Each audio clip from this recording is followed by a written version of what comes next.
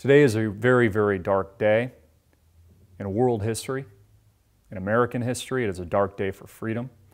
It is a dark day for your liberty. And it is a dark day for the internet. And I tweeted this earlier. This is the final nail in the, in the coffin, so to speak, on internet freedom, free press, and the truth getting out to the American people and those of you tuning in worldwide. Now, get this regardless of what you think about this individual here, Julian Assange, whether or not he's a good guy or bad guy, or he did something illegal, or he works for an intelligence agency, or he doesn't, it doesn't really matter. The point here should be what was put out to the public through WikiLeaks, this independent, true journalist organization, was the truth. And if it wasn't for this man here, we would never know. We would never have the factual, concrete evidence, for example, that the Democratic Party illegally rigged the election against Bernie Sanders because he was never intended to win. And you do not have a constitutional republic or a democracy here in the United States. You have an oligarchy. And if it wasn't for this man, Donald Trump would have never been elected because he wasn't supposed to.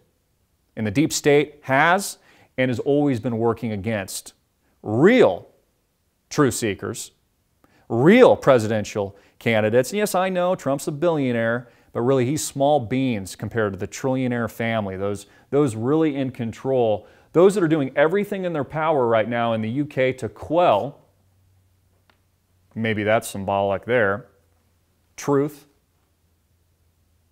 and freedom. So, this man, I was shocked. I woke up this morning. I was shocked, not that it was Julian Assange, I was shocked it wasn't Barack Obama and Hillary Clinton, because I was expecting to see them being dragged out by their collars, handcuffed into a moving police escort vehicle, and jailed and indicted for their crimes. We know for a fact that the Democratic primary was rigged. We know, and the allegations are, Hillary Clinton was responsible for that. Her campaign was responsible for that. No one's even arguing that truth. We know that there's allegations that Barack Obama illegally wiretapped Donald J. Trump, spied on him and his family during, in, and around the election. Yet this guy's the guy in cuffs? For what? Leaking the truth. Was it not George Orwell who said that in a time of deceit, it would be a revolutionary act to tell the truth? And again, with all these internet controls, these social controls, a social credit system, the too big to fail bankers raping all of you, just like what they did in 2008 09, they are moving to something so, so far more sinister, so much worse than anything you've ever seen before. And honestly, this pains my heart because I know that this is the death nail so to speak, for everything I just described. Unless we build something new.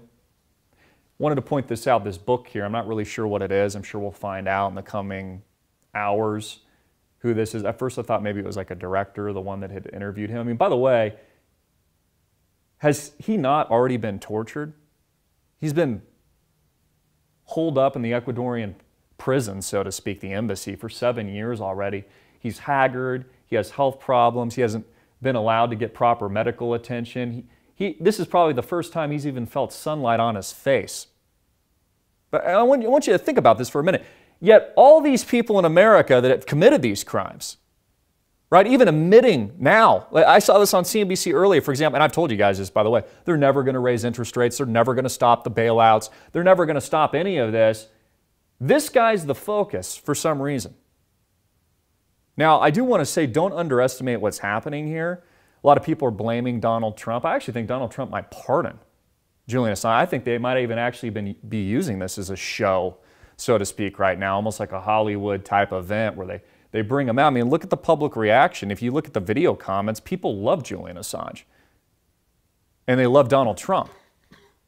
So if Donald Trump were to pardon, say, Julian Assange, it might even secure his reelection. If it wasn't for this guy, he wouldn't even probably be in office, which is exactly why the deep state has to do everything they can to shut him up. And it's why we've seen this domino effect in this orchestrated silencing across platforms and across social media and across just the internet at large in recent months and over the last couple of years because they can never allow what happened in 2016 uh, ever happen again.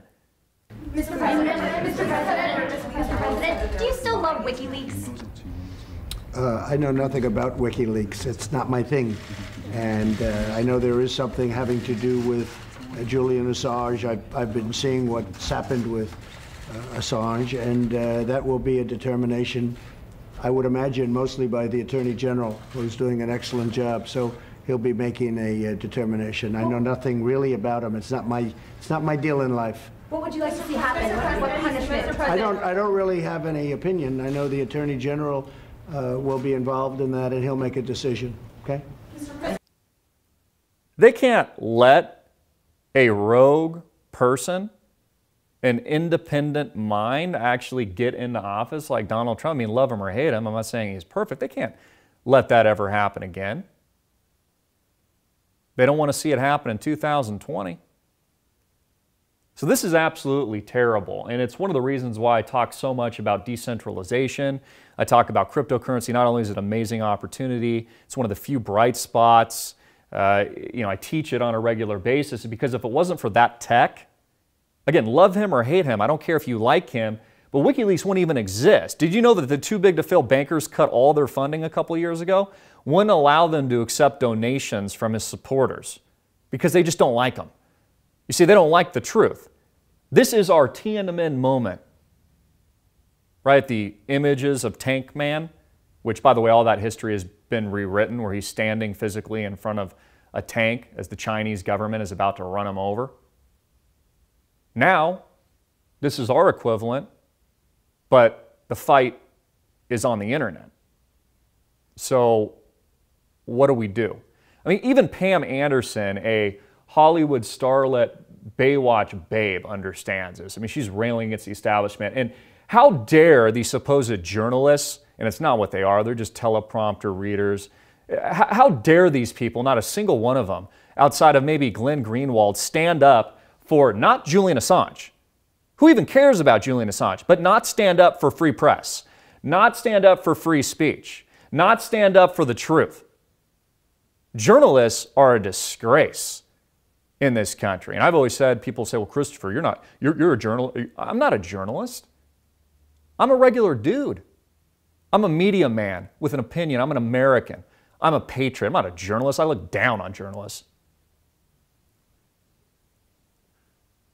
So this is a very dark day in history.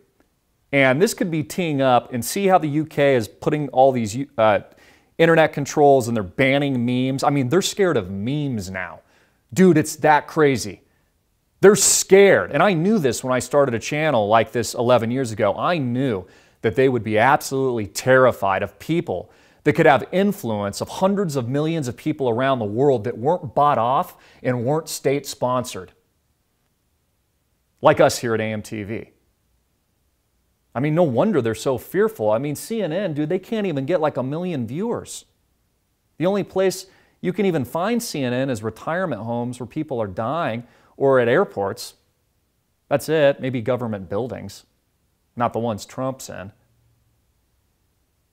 So, Assange beaten, battered, disgraced, reviled, hated libeled, defamed. I'm surprised this guy's even alive. Who even cares who he allegedly works for? Right? And there's so, there's so much here. It's a multi layered, multifaceted thing. I mean, I could go on for hours. I could do a documentary on it. I mean, look, this guy is a part of an intelligence agency. I think that's pretty obvious. But I don't really need to debate who he or who he doesn't work for. It doesn't matter because it's the underlying truth that should matter. Again, if this guy's been being treated like an animal, why are these other people that I just mentioned allowed to walk around scot free? I mean, some of these people even have the gall to not only promote bailouts and these kinds of things, but now they're considering running for president. Like Jamie Dimon, that's what he said. He was like actually considering it.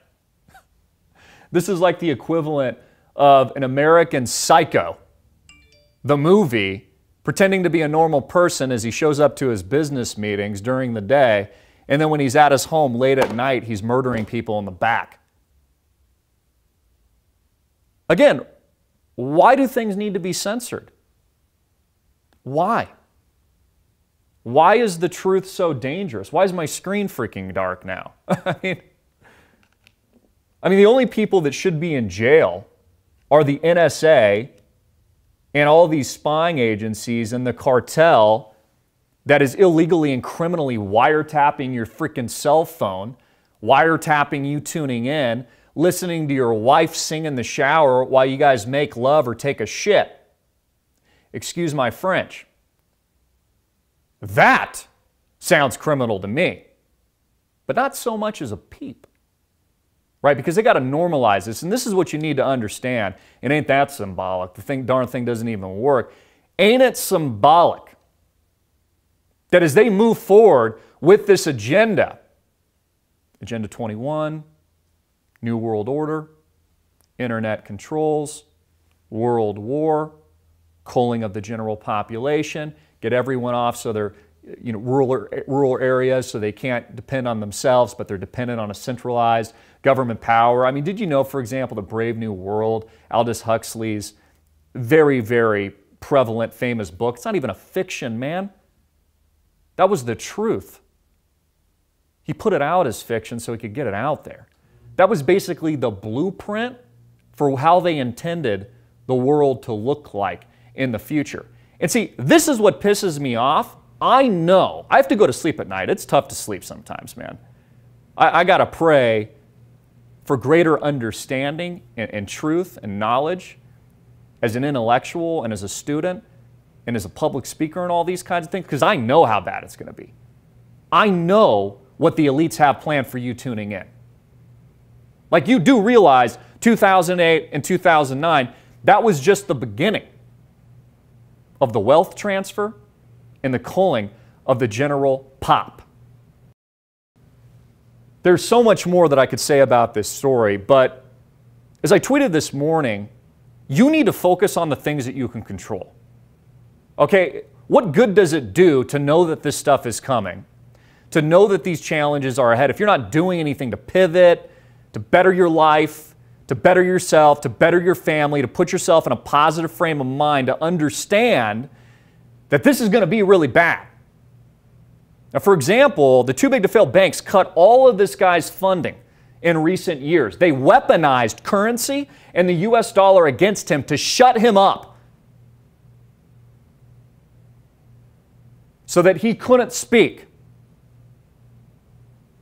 And one of the reasons I keep advocating decentralization, blockchain technology, cryptocurrencies, and all these things is because not only is it an incredible opportunity where there's millions, billions, trillions to be made, but did you know, for example, utilizing a decentralized blockchain internet, anything this guy publishes never goes down and never, it's never corrupted and it never comes off the web. Because that's what that technology does. And it's why the elites fear it so much. And it's why it's the future. And it's why there's an attempt to co opt a truthful, organic tech, which people like me have worked on the open source code. I'm a part of it, as many of you tuning in.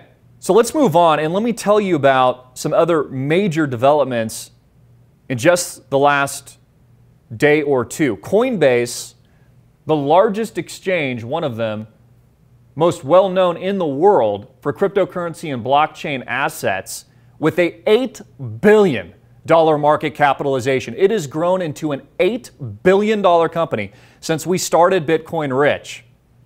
And I started talking about cryptocurrencies, learning about them, investing in them, and then, of course, we've been traveling all over the place, espousing what an amazing new tech this is. Coinbase is now worth $8 billion. And just yesterday, they announced they're partnering with Visa. I'm sure you've heard of them before. And are now making Bitcoin, Ethereum, Ripple, XRP, Litecoin, and other payments a reality using a credit or debit card. So I don't have to show you that on my wallet, but like I constantly hear from people, they're like, well, this will never be mainstream adopted, Christopher, because I can't buy a cup of coffee. Visa is doing it now. Visa is partnering with Coinbase. Do you understand why thousands of my students, students, not all of them, it's not a guarantee of return, have become millionaires and many more will become millionaires as a result of these announcements? That when big tech moves in, and it's exactly what they're doing now, there's going to be 5,000x plus rates of return in some cases because it's all mainlining and it's all mainstreaming. Bitcoin and other major cryptocurrencies, including Ethereum, Ripple's XRP, and Litecoin, have long struggled against accusations they are harder to spend and use in the real world than their traditional fiat counterparts. The Bitcoin price, which leaped higher last week to trade around 5,000 per Bitcoin, has been called too unstable by the pundits and volatile to be used as a means of payment. But now they're using it as a means of payment. So my point is, I'm not going to get into all of it, but this is all mainlining. In fact, my next video at bitcoinrich.com, by the way, we're closing new entrants and new registrants today. So get in, click the link below. I've got some great new content there. I've shot countless videos on where I think the opportunities are. I teach you everything you need to know from the fundamentals all the way to advanced topics. Click the link below, join us.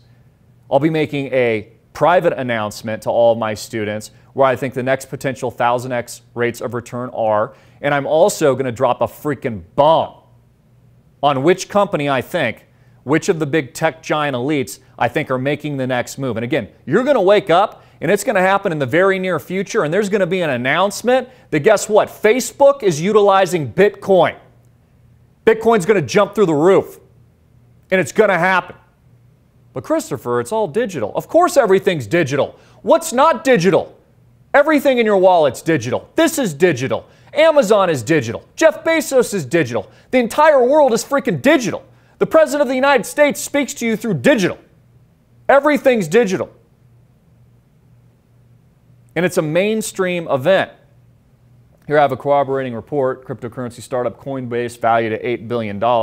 This is just the beginning. I mean, we're talking multi trillions of dollars here in the not too distant future. And in my course, I'm going to review some major updates because there's been a lot of new additions a lot of new coins, and there's a ton of them. And I basically pinpoint, and this isn't investment advice, I'm not a financial advisor, I'm not giving you, telling you you're going to make money or anything like that. I'm, it's purely education. But I basically point out with laser precision this is the opportunity, in my opinion. This is where the explosive results are going to come from. And the only people in the world that get it are my students at our school. Built, by the way, on a decentralized distributed network. So it can't be censored and it can't be controlled. So much opportunity, so much change. And the point is, some of you would say, well, like, how does this tie in? This ties into everything. It's so big, Facebook just announced they're seeking $1 billion in funding for a new crypto project. People said it was a conspiracy theory before. Now it's just wide out in the open, baby. A billion dollars they're seeking for investment in everything we've been talking about here at AMTV and BitcoinRich.com and beating over your freaking heads. Because they're trying to compete with the Assanges of the world. They're trying to compete with the Bitcoins of the world because it's taking over. Case in point, the most subscribed YouTuber in the world, PewDiePie, PewDiePie just made a deal with a major blockchain live streaming platform, and he is ditching the oligopolies that control his freedom of speech. Do you understand how big this is? Everybody smart is moving to the blockchain. Every single person, all the early adopters, just like the internet, just like social media. This is the biggest thing to happen in our lifetime. And it ties into this guy right here whom they want to shut up, who they want to quell. It ties into free press, it ties into free speech, it ties into your liberty, it ties into information censorship. I mean, look, what do you do when they're creating a society where they're going to continue widening the wealth gap? They're never going to stop the bailouts, and interest rates will never rise in your lifetime again, ever, until maybe like the next world war when a few billion people get eradicated off the earth?